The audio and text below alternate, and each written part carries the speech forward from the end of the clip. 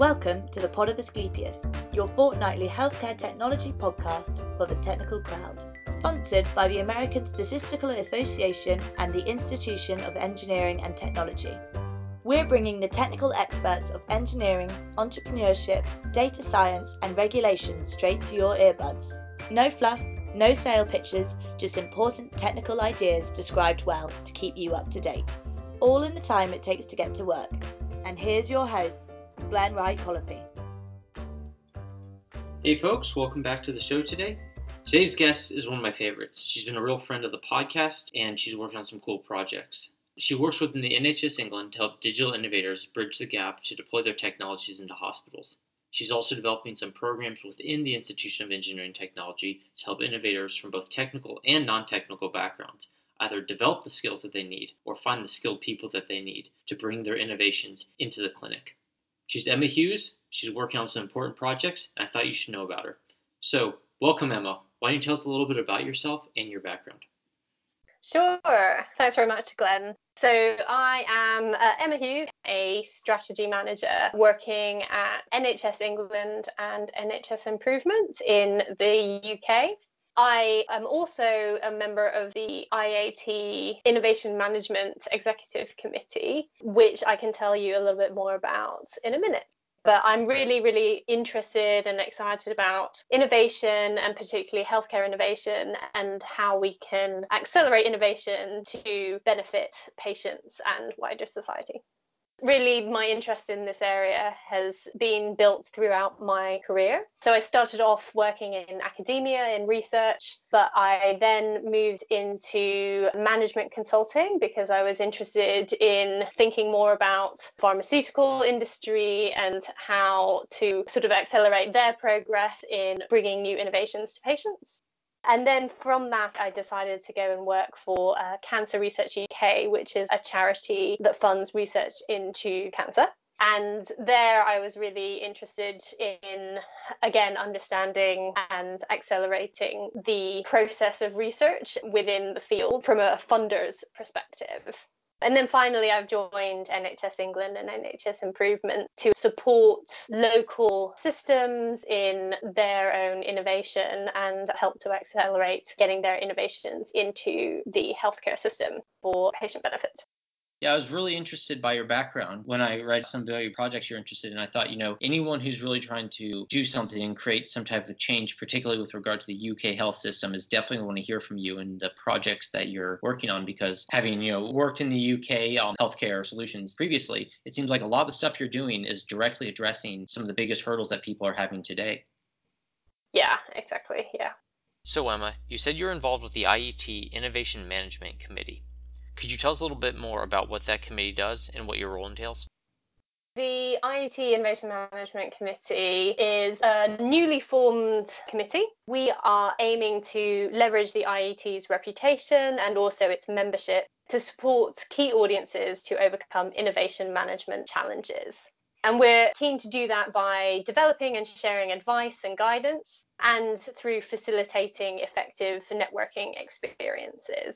Um, so, as I mentioned, we're a new committee. We only formed in May this year, so in 2019.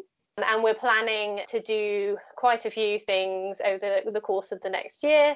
But the main event that we're planning is one in uh, in 2020. I'll tell you a bit more about that later on if you like. But I just thought I'd tell you a bit about the challenges that we know that exist in innovation management um, and how we've come to identify those, if that's helpful. That would be great. I'd really appreciate that. Great. So, as a committee, we actually held a bit of a scoping session back in February of this year where we invited a number of different people in England to come and talk to us about what they understood to be uh, innovation management, what they saw as the key challenges in relation to it, and what we identified was that there were basically two groups of people or two audiences. So you had innovators who were worried about how to progress their innovations and bring them to market and to benefit end users. Um, and then you had the other group of people, which were the sort of innovation funders and large companies who were really seeking to understand how they could identify and cultivate innovation within their organizations and then use that to their advantage. With respect to those two groups, the innovators, we identified three main challenge areas. So the first one was for innovators to really understand the whole process of bringing their idea to fruition. A number of innovators uh, or even people who just come up with an idea don't really know the overall commercialization process and they don't understand where to get that information. So that was one of the challenges that we identified. The other challenge was around understanding and accessing suitable funding opportunities. And I'll talk a little bit more about that when I speak to the, the event that we're running next year. Then the third challenge for innovators was really identifying the right people to work with and to support them in, in progressing their project. On the funder side of things, uh, the kinds of challenges that we identified were around creating a culture of innovation in their organization or in the population that they serve, as well as how they actually identify high potential innovations and go about bringing those into their companies. So basically, you're giving them a framework by which to identify these opportunities? Yeah, so what we want to do is help the audiences that I mentioned, so the innovators and the, the, large companies or funders, to overcome some of those challenges that I that I mentioned. Um, and then the last challenge that we identified for those large companies, those innovation funders, uh, was around how to actually manage innovation projects. So once you've sourced an idea or an innovation project, how do you know when to continue backing it or when to actually kill it if um, if it's not uh, working out? that's really about effective risk management and putting in place the right framework, exactly as you said, uh, to make the right decisions at the right time. I think that's a really key question. You know, there are a lot of people out there trying to figure out how they can be the ones generating innovative solutions, but they also want to be the ones, you know, taking those solutions forward all the way to clinical fruition. So, for example, coming from the data science background, there's, you know, this huge hype around machine learning, AI, data-driven healthcare. And certain types of clinical innovation are only possible using people with the ability to analyze large amounts of digital information. But at the same time, it's very unclear how to manage people with such abilities and making sure they're working towards the right things, getting the right outputs, and focusing their abilities on the right projects. I think a lot about that challenge, but you know, obviously your challenge is much greater than that, since you're not just focused on the field of data science or engineering or lab sciences. You're taking people from across a variety of fields and getting them going in the right direction. So it's a wide range of technical skills. You know, people who have found success in their field because they approach problems a certain way, but you're teaching them how to properly vet and manage their ideas in a familiar but distinct domain. Yeah. Um, and you're teaching them to be good at something for which there's, you know, no perfect answer. When you encounter a serious challenge to your wonderful technical solution, it's hard to know. Do you preserve the project as it is and try to overcome the hurdles versus should you kill the project since it just isn't going to make it? Or do you try and pivot in some way to make the most use of your progress so far? Or are you just delaying the inevitable by trying to pivot? Any framework also for helping people, for example, they identify that they might have developed the technology, but they aren't the best people to execute it. So when to sort of pawn off your capabilities to somebody who can execute it better. Yeah, exactly. And that relates to the sort of networking challenge that I mentioned earlier for innovators. So it's exactly that. How do I find the right people to help me progress my idea? In some cases, progressing the idea yourself might not be the right thing to do. So, how do you identify that and then figure out who the right people are to actually bring your idea to fruition? So, now we've heard twice about this event that you're planning. Should we maybe end the suspense and hear what this is all about? Because we're a new committee, we've identified a bunch of challenges. We haven't yet figured out the framework or developed the solutions to help people overcome those challenges, but that's what we want to do in the future. So, in order to, I guess, prioritize our time, we're just focusing in on certain challenges. Well, one challenge at first so we decided to tackle the funding question of how innovators can find and then access suitable funding to progress their innovations and their projects.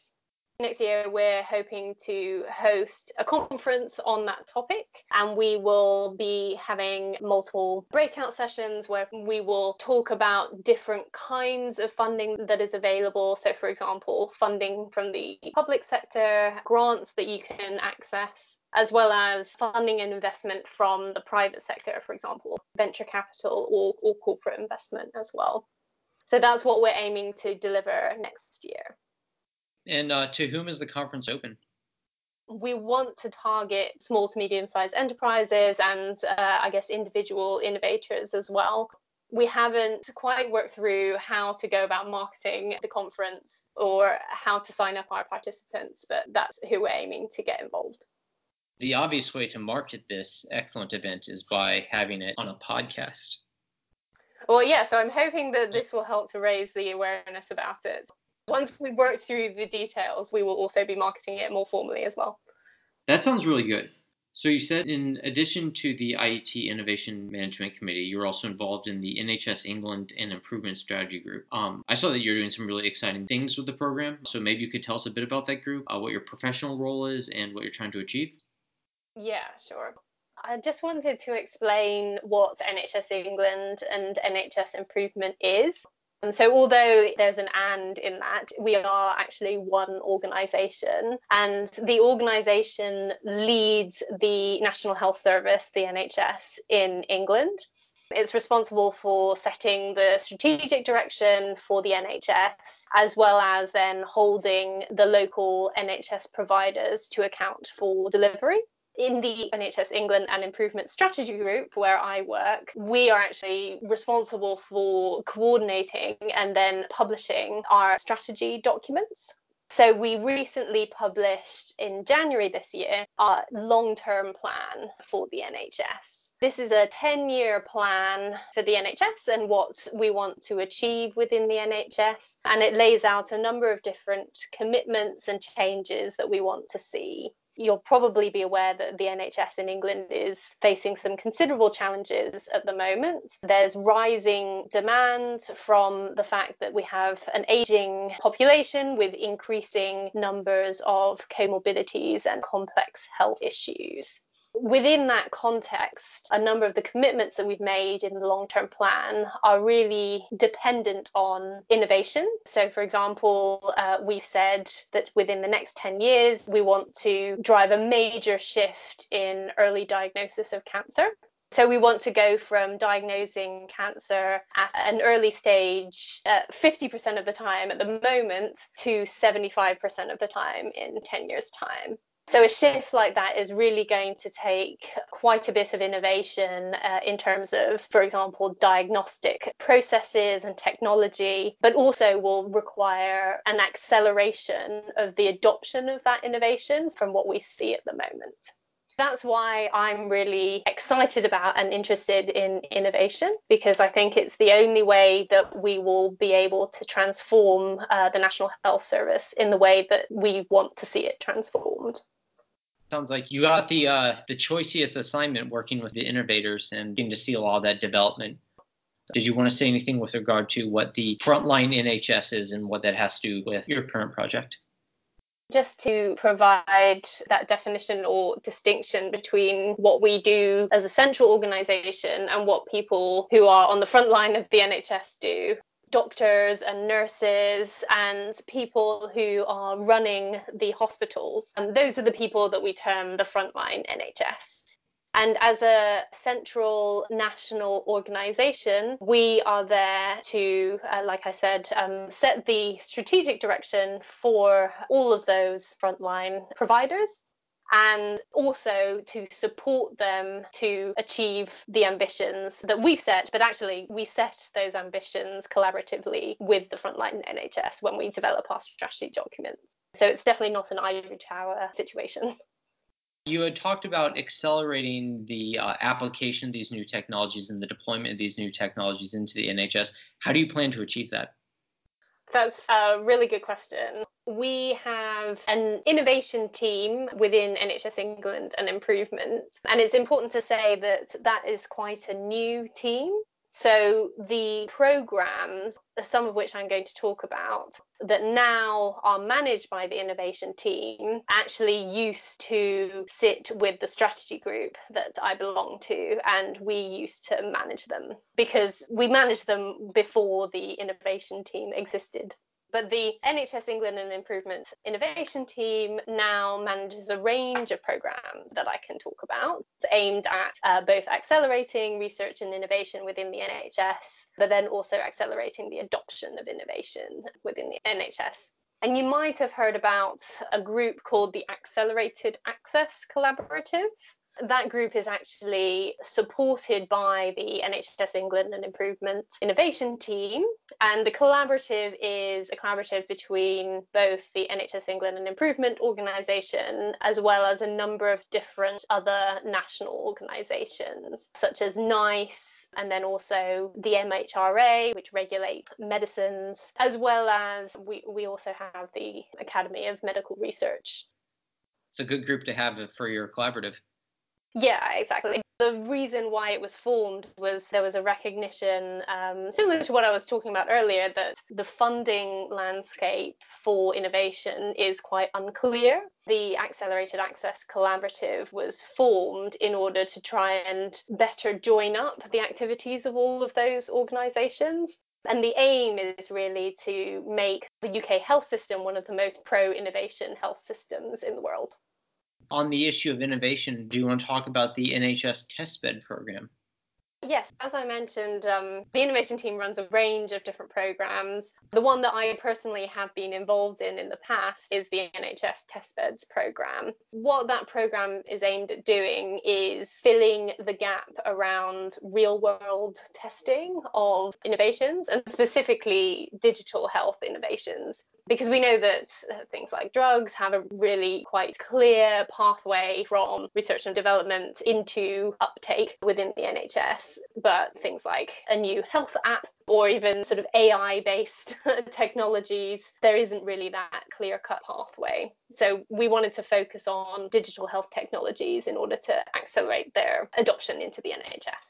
So, what the NHS Testbeds program is about is taking digital health technologies that have a body of evidence around them that say that they are market ready, that say that they are safe and effective to a certain extent. So, they have a reasonable amount of evidence about that but they haven't had the opportunity yet to be tested in a real world environment and with real world patient data and particularly across multiple sites. So you might have an app that's being developed based on data from one hospital, for example, but the NHS Testbeds program gives you the opportunity to test it in multiple hospitals and also potentially with other uh, digital health applications that might augment the impact of your innovation. I think that's really good for addressing sort of the scientific issues of clinical innovation because the fact is clinical practice, you know, not only can it change from hospital to hospital or from trust to trust, you know, really it can change from even shift to shift. Yeah. The actual clinical implementation of best practices. Doug Altman, the uh, great British medical statistician, published quite a bit on the need to essentially validate your methods. He was mainly talking about statistical models for prognosis and diagnosis. Whenever you validate it, whether it's a drug or a new clinical practice or new algorithm, it was always necessary that you need to test it across a larger number of clinical settings to make sure that it was robust in that way. Uh, very similar to how, you know, even in the better understood areas of medicinal clinical trials, you have a large number of sites and there is potentially a site effect effect that needs to be accounted for. So yeah, I think this is really great for people who might be more wary about the widening, the generalized applicability of, for example, machine learning or artificial intelligence algorithms. That you have that larger test bed in which to try and to ensure that your implementations are robust. Let's keep talking about this if you don't mind.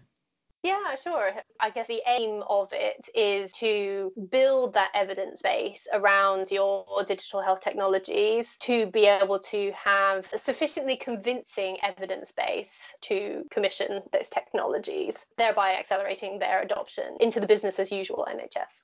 I think also a lot of the talk is about, you know, this machine learning and this algorithmic type of improvement or technologies.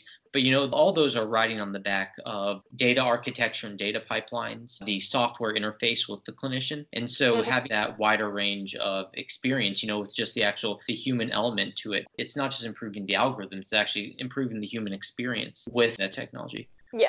Which of these hospitals are participating in sort of hospitals yeah. get in contact with you? You develop it or yeah. what?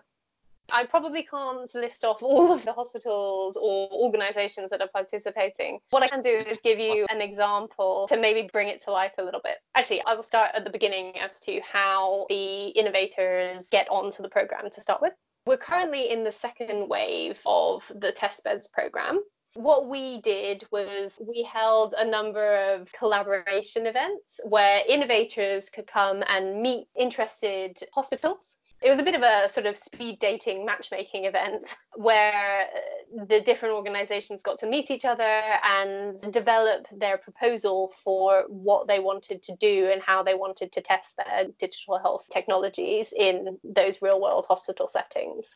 So after those collaboration events, there was then an expression of interest and then finally quite a robust selection process to select seven testbed collaborations who were then funded in September last year. Those are seven sites across the country that are testing various different digital health technologies in their real world hospital settings.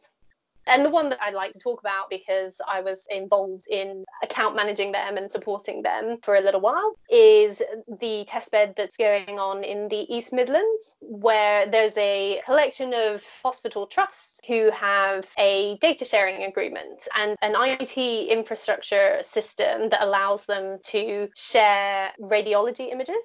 So the testbed is currently testing out an artificial intelligence based algorithm that comes from a company called Kheiron and they're testing it out with some of the data from a couple of the uh, hospitals within the East Midlands, and they want to validate their algorithm and see whether it is actually as good as people in terms of detecting breast cancer within breast cancer screening images.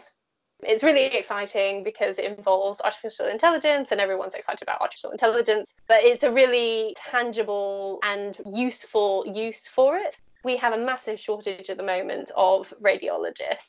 So if this technology is then shown to be able to be as good as a radiologist in detecting breast cancer within those screening images, it means that we can use the technology to support the radiologists in their decision making and therefore plug some of those staffing gaps that we have. You're right. That is a good story. There's no doubt a lot of people who are going to be very interested in uh, trying to pursue this. So hopefully, a lot more opportunities in the future. That sounds like a really great way to jump the hurdle of connecting innovators with the clinical staff who are willing to put some of the time and the effort into working with them to develop their products. Yes, exactly. Kheiron's a great example because they are a small to medium sized enterprise. It's often quite difficult for those kinds of organisations to break into the NHS and to find the right partners to help them to test their products. So that's why I think the TestBeds program is so great. I mean, it definitely is a challenge because sometimes it feels like you need to be part of a prestigious organization or just a really well known company with a lot of clout already just to get people's attention. The fact is, it does make sense for clinicians to be skeptical. You know, they can't spend all their time testing every new digital solution that's out there. And, you know, there's a lot of people who might be peddling something that's less than useful or don't have the full drive or capability to see something all the way through. So a clinician can't spend their time trying out an invention for an innovator who isn't also going to put in the work to see it all the way through. Yeah, exactly you definitely understand why they're skeptical, but at the same time, for the innovators, it's like I'm willing to put in the work. I just need someone to have the faith in me that they'll come and see it through as well. So hopefully, that sounds like a program that will get to grow as much as possible. Yeah, exactly. Yeah. Thank you so much for your time. You know, I really enjoyed this. Um, I think the audience will enjoy hearing about your work and the programs you're involved in. I think when people hear about your testbed program and your conference, they're going to get excited and want to get involved. So thanks for stopping by, and I really look forward to having you on a future episode. Well, thank you very much for having me on this podcast. It's great to have you, and I hope to see you back. Thanks again. Thank you. Well, that's it for this episode of the Pod of Asclepius. We hope you enjoyed it and will tune in for our next episode. If you're watching from YouTube, don't forget to subscribe to our channel and leave a like. You can also follow us on our other social media channels, including LinkedIn, Twitter, and Instagram. Have a great story or presentation that's ready for prime time? Or know someone who does? Drop Glen an email because he'd be happy to hear from you. We would like to thank our sponsors from the American Statistical Association section on Statistical Learning and Data Science, section on Medical Devices and Diagnostics, and North Carolina chapter, as well as the Institution of Engineering and Technology. The views expressed on the show are those of the speaker and not their employers, our sponsors, or anyone else not saying the words.